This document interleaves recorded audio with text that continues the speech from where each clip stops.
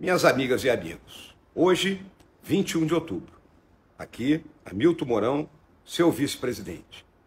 Me dirijo a vocês porque faltam nove dias para um momento de decisão em nosso país. Mais um, já vivemos tantos. Existe o projeto que atualmente governa o Brasil com uma visão de futuro. E existe um outro projeto que deseja voltar. É o projeto do Partido dos Trabalhadores. Eu quero lembrar a vocês que o candidato desse partido, e eles e seus representantes, não assinaram a atual Constituição por não concordarem com ela e julgarem que ela não era socialista, como desejavam.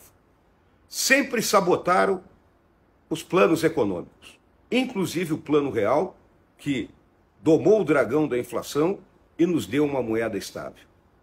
O objetivo sempre estava ligado a quê? Quanto pior, melhor. Nós contra eles.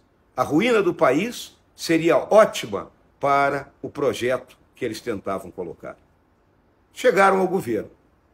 Ficaram praticamente 14 anos no governo. E o que fizeram? Subornaram parlamentares, atropelaram as regras fiscais, endividaram o país, quebraram as estatais e agora desejam voltar. Minha gente, está na hora de nós colocarmos os pés no chão e entendermos que quem promete picanha e cerveja não tem mais nada para prometer.